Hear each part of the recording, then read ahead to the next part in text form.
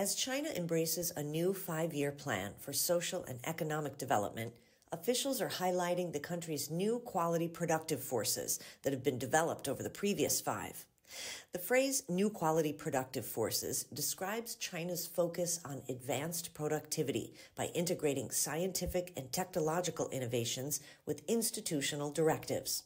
The system aims to build and nurture an innovative ecosystem by providing things like resources, testing facilities, and tools to ease the flow of information, capital, and strategies.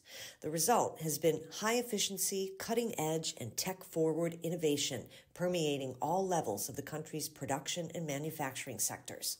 At a smart construction machinery plant in North China's Taiyuan, the latest technologies are being used to transform steel plates into finished equipment in just over eight minutes, which has boosted efficiency by 70%.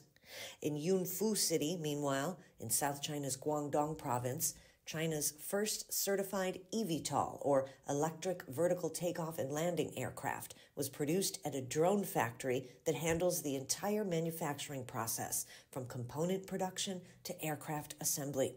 And in southwest China's Chongqing municipality, the country's first digital film set studio, which uses platforms and enormous LED screens to reduce production costs by 90% which has fundamentally changed the way sci-fi films are made in the country.